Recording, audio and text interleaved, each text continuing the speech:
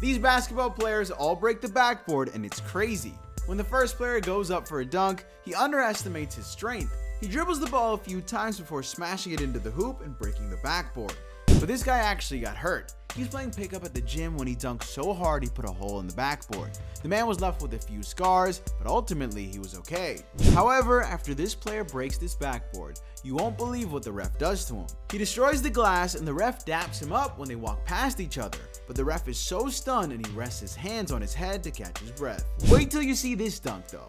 This player shoots a 3 and his teammate jumps over everyone to win the rebound and shatter the backboard. But this windmill dunk is next level.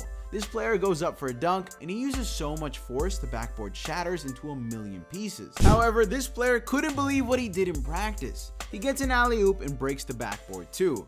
But he's so surprised he doesn't know what to do and runs out of the gym. Even the coach's jaw drops.